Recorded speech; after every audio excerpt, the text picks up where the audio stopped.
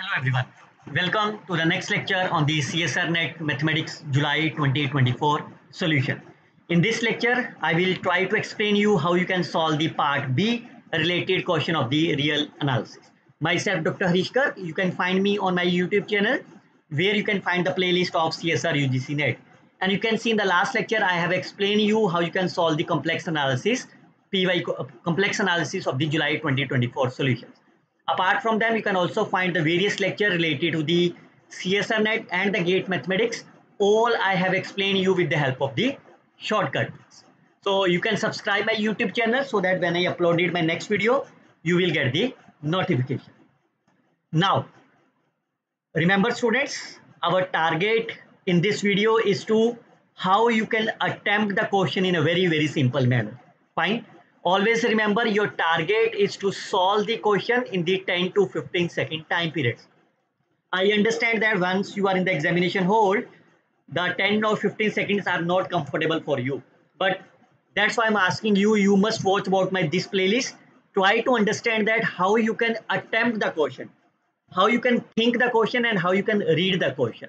Once you can understand the statement of the problem then you can easily get the answer so now let's start with this question. The first one is let S is the dense subset of the R. Can you think about any of the dense subset of the R? That is my Q. Fine. F is my any given function. So I can choose F is either a continuous function or F I can choose it as a discontinuous function. Define the G from, so what is my G? G is my from Q to R such that g of x is f of x. That means the function g is defined as f of x. Which of the following statement is necessarily true? Is necessarily true. G is continuous on S. G is continuous on, sorry, f is continuous on the S. So I can define any function which is continuous. What is the definition of the continuity? You can choose any of the constant function. Fine. This is my S and other function is I can choose an s 1 r minus q. That is an irrational number. So clearly say f is my continuous on the s because s is my q. Every constant function is contained that's satisfied. Is this function is continuous on r minus q? No. Why? Because the function is not continuous on r. Fine. Clearly say this function is not continuous on r. So this option is not necessarily true. So that option is cancelled. If G is my continuous, G is defined on the S. So G is continuous on the S. So in this case, what is the G of X? G of X is my 0 for all X in my Q. I can choose on this example. Clearly say G is my continuous and F is continuous on S. So now they are talking only on the S. That is this part. So that f is also continuous on the s, but I will provide the counter example to discard the option. So this may or may not be. G is identically 0. G is defined on the s. That means G is identically 0. So again, I can choose an as this example. F is continuous on R minus S. That is only this case. And F is continuous on R minus. This is the given condition to you. So clearly say F is continuous on r minus s because on the r minus s the function is a constant. Every constant function is a continuous. Then f is identically 0 but this is not identically 0 that means this option is also cancel out. Fine. Look at the third fourth option. G is identically 0 i can choose and g is again by this function. F is continuous on the s. That is again i can choose the same function fine. Again the same example. This work for this case. Fine. G is identically 0 this is my g. Fine. G of x is my 0 for all x in my q. F is const continuous on the s. Again this is my f. F is at 0 for all s in q. So both are my continuous. They satisfied. And f is identically 0 again you can see what is the domain of the f is R. So this F is not identically 0 on the R. So this option is also cancelled. Only left behind is my option A, B. That is the correct answer of this problem. how we can verify that whether second option is the correct or not so that's again a very very simple uh, firstly I, as i mentioned you this is the example fine as i mentioned you in for this example the option second is the correct. But look at that. If g is continuous on s what does it means what does it mean? If i choose a sequence in the s if it is converges to the x then g of xn will converges to the g of x by the definition of the continuity. Now you can see that on the domain s that is on the domain q on the domain q g is identically to the f. G of x is equal to f of x. What does it mean f of xn converges to the f of x. So what is the meaning of that? A sequence converges to the x. F of xn converges to the f. That means f is continuous on s. They are talking only on the s not on the r or r minus s. So that's why this option is the correct option now if you think about that how i can think about these problems? You i recommended you you must watch what my this lecture py question on the continuity. You have understand that i have always mentioned you in this exam in this lecture. You always start with the function that f is constant f is exponential and f is a linear function. Always start from this example to discard the options.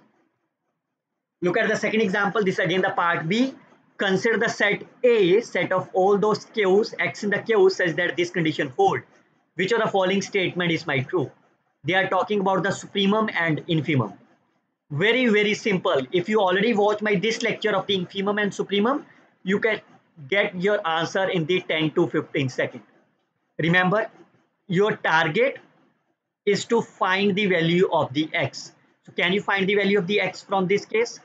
0 to x root 2 plus 1 over root 2 minus 1 and your target is like clearly say this is my infima.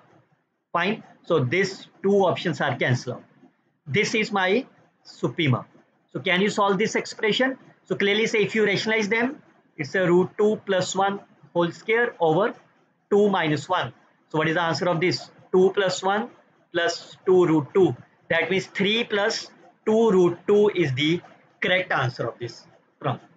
A very simple approach as I mentioned you again in this PY question series. You must watch about my this lecture to understand the concept of infimum and supremum. Next one is AN is my bounded sequence. So you can choose any of the sequence like this or you can choose this sequence, any of the constant sequence and so on.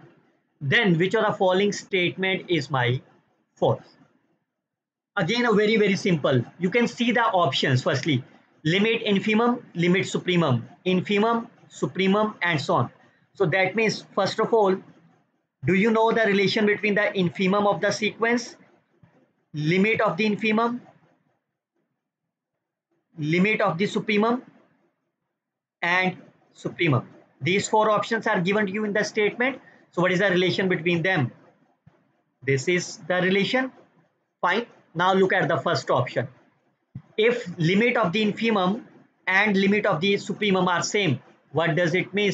The sequence is convergent. That's a definition. So yes, this option is the correct statement, but we need a false statement. Look at the second option. Infimum of an and limit supremum of an. They both are same. And what is the meaning of that? If this limit the value of this and value of this are same clearly say the limit of infimum is also same of the limit of the supremum also same of the infimum. By by using the sandwich theorem we all know if a is less than of the b is less than equal to a what does it means b is equal to a. Fine. The same case happening here. So what does it means if limit infimum and limit supremum are same what does it mean? The sequence is convergent. So yes this option is also correct option but we need a false statement. Moreover you can also see that the option first and the second are the same options but they have written in the different manners now look at the c option. Limit supremum sorry supremum only this side and limit infimum. If they both are equal what does it means again it implies that limit of the infimum limit of the supremum are same. Fine. That it implies this sequence a n is convergent. But he said constant. Is it necessary? Not true. Why? Can you provide the one example whose limit in which is a convergent and not a which is a bounded convergent but not a constant? You can see. This is my sequence. All knows that this is a bounded sequence fine what is the limit of the supremum? 0 limit infimum is also 0 fine. So this condition satisfied and but it is not a constant sequence. So yes this option is the false. So that's the right answer. Now since this is a part b only one correct option is there. So that's we get the answer as a third is the right answer. But let me tell you the fourth option also. Supremum that is the this last point is same as of the infimum now if the boundary points are same what does it means? That means limit infimum limit supremum all are equal. What does it mean if all are equal that means the only thing is the sequence is my constant fine. So the limit is uh, limit infimum limit supremum infimum and all are means the sequence is my constant. So yes it's a constant this is a false statement so the only right option is c is my right. How you can think about that? Again you can watch about my limit infimum and supremum lecture as well as py question on the sequences. If you if you watch my this sequence lecture you can get your answers again in a very very simple manner. Don't forget to like share and comment on my videos. Look at the another question what is the cardinality of the set of the real solution? How you can think this question in the examinations? First of all what come in your mind when you are talking about the solution of the equation f of x is equal to 0 what is the solution of that? That means you are talking about the algebraic solutions. That means you can think about this solution as a numerical analysis and i am very sure that before going to the examination you already watch my this lecture so that you can get your answer in a simple manner how you can solve that i can write this equation in in write this solution this manner fine now you can see what is the solution of this what is the cardinality can you draw the graph of e raised to power x this is the graph of the e raised to power x. Fine. Can you draw the graph of 1 minus x? When x is equal to 0, e raised to power 0, 1. When x is equal to 0, e raised to power 1. So it's a decreasing graph. This is the graph. How many point of the intersection? That is the unique point of intersection. So if the unique point of the intersection is there, what is the cardinality?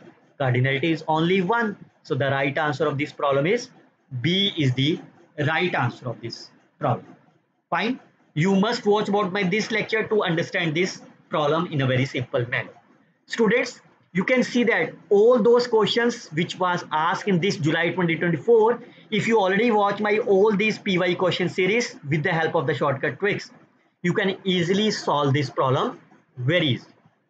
I hope you can like comment on this share this video to your other friends as well let's see is the collection of all those set S such that power set is countably infinite then what is the nature of this set? C. I think very simple.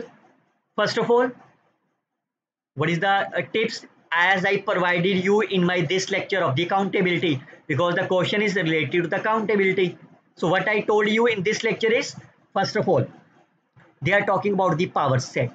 Fine? So look at that. What will happen if a is my finite set?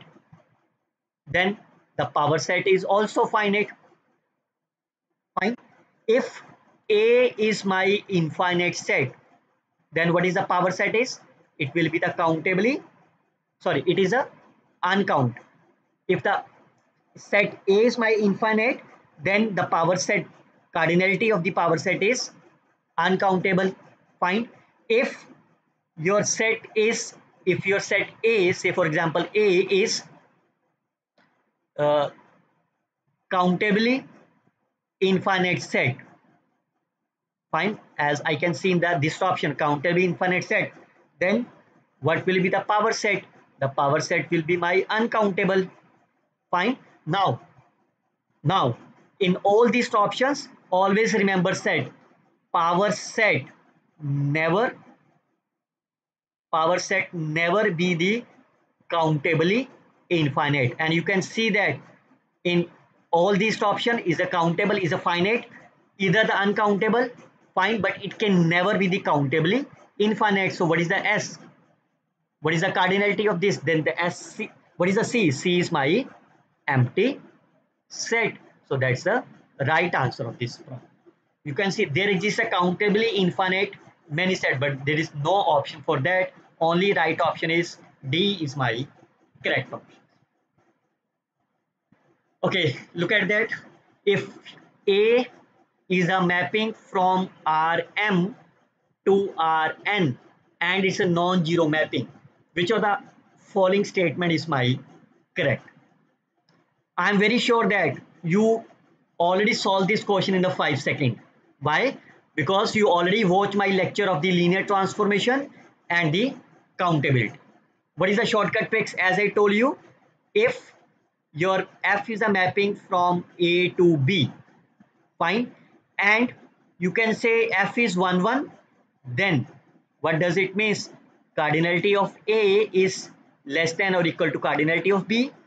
If f is on 2 then cardinality of a is greater than or equal to cardinality of b. If f is bijective then cardinality of a is cardinality of b fine but make sure students converse may not be true. Fine. Now this is the same shortcut fix that I told you in my countability and the linear transformation. So let's look at that. What is the cardinality of r raised to power m? Is m? Cardinality of r raised to power n is n. Now look at the first option. A is 1 1 this option satisfied. Then cardinality of m is less than equal to n. But he said m is greater than equal to n. Straightforward option is cancelled. Second option. A is on 2 if mapping is on 2 then this condition hold that means cardinality of m must be greater than equal to cardinality of n. But he said m is less than equal to n. That option is cancelled. If a is bijective then cardinalities are same then definitely m is equal to n. So this option is the correct option. If a is 1 1 then m is less than equal to n then m is equal to n. Equality here. But but it it is less than but it is not always it may be less than of the n. So this is not true. Equality only when it is 1 1 and on to both. Fine? And moreover if we all knows if it is a V to V same dimension. And it is a 1 1 if and only if it is on 2 but you can see the dimensions are not same. So this condition is also not applicable. So the right answer is only C is my correct option of this problem. Now if I think about this problem in some another manner like what will happen if I interchange this option? This one and this option. Fine? Okay fine. This option uh, the, the answer of this problem is fine. But i will tell you uh, what will happen if in the examination this will be given to you. Then is it a correct option? Is it a correct option? Now you can see. A is 1 1 that means this condition hold but not on 2 if a is not on 2 what does it means? A is not bijective if A is not bijective, that means M is not equal to N. So from this case, M is less than equal to M, M is not less equal to N. So what does it implies? That means M is less than N. And then in that case, it will be satisfied. Similarly, for this case, A is on 2, that means M is greater than equal to M, but not 1, 1. Not 1, 1 means that is not a bijective. If not a bijective means that is M is not equal to N. What does it implies? M is strictly greater than n fine in that case it will be right option but anyhow for this particular case of the July 24, the right option is only C is the right answer. You must watch about my these PY question series. Okay. Let S is the collection of all those X in the R such that 1 minus X raised to power 4, 1 minus X raised power cube greater than 24 then which of the following is true? Not necessary but it's true. S is empty bijective bijection. Look at that. If there is a bijection that means cardinality of s must be cardinality of the n. And we know that cardinality of the n is aleph naught. In this case cardinality of s cardinality of the r that is uncountable. Bijection between the s and any non-empty finite set. A is a non-empty. That's my target. Very simple. It is given that x is greater than 1 because at x is equal to 1 is a 0 by 0 form. You can see, you can choose any of the x. So let's say x is my 100. Fine. Definitely 1 minus x raised to power 4 is approximately with the 10 raised to power 4. Fine. 100 raised to power 4. 1 minus x cube is approximately be the minus 100 cube. So that means the ratio of them will approximately be the 100. Fine. And that is greater than of 22. So that means if I choose any number which is greater than of 100, fine, that is belongs to the S, fine, not particular 100. If I choose any of the, say alpha, alpha is any large number, not 100, it may be the 99, it may be the 98 it may be the 1000 any number. If I choose any number x which is greater than of the alpha alpha is my large number.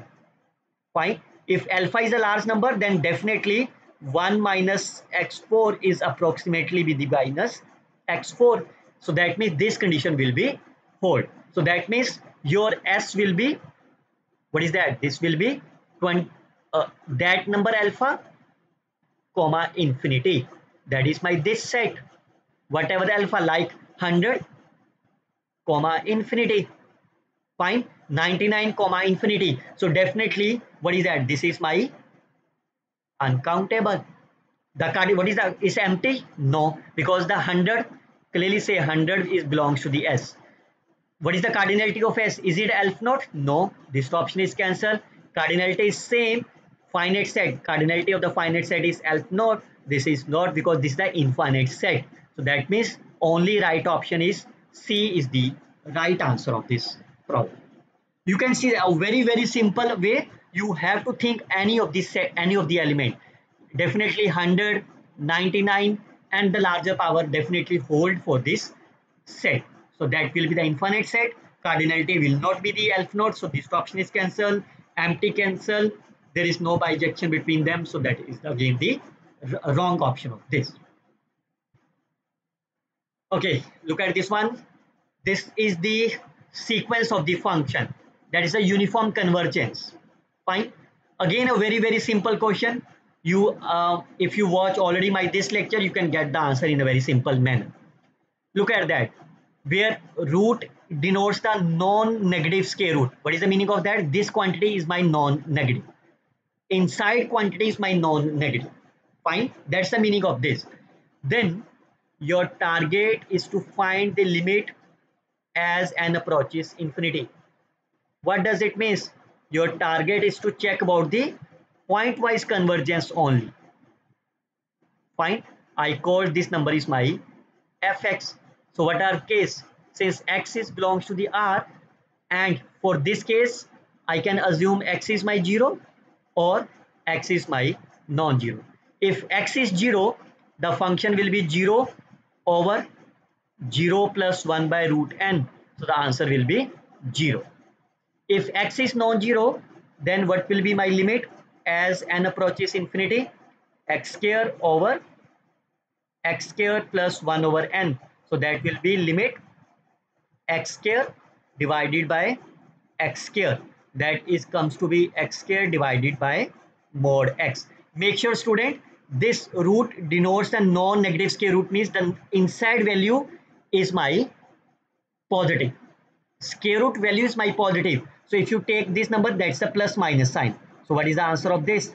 Clearly say I can return this number is mod of x, fine, over mod x. So that means this is my mod x. Now clearly say zero case will also satisfied. So f of x is zero for all x not possible. f of x is x is not possible because if you take x is my minus 1 or any number which is less than of the 0 what is the answer of this case? It will be root of this is a negative answer. So that is cancelled this option is the for all x. There exists. F is not defined. Wrong option. Only d option is the correct answer of this problem you can see so very simple the only thing you have to make why this is written there because to avoid the complex number fine so to avoid the complex number, this part is there. So the right answer is only mod of x is the correct option of this problem. You can watch my this lecture and you can get your answers in a very simple manner. Make sure student, I again recommended you, you can watch my these lectures to understand this PY questions and the shortcut tricks in a very simple manner. Don't forget to subscribe my YouTube channel and thanks for watching. I hope you can like, share and comment on these videos. Best of luck students. Happy learning.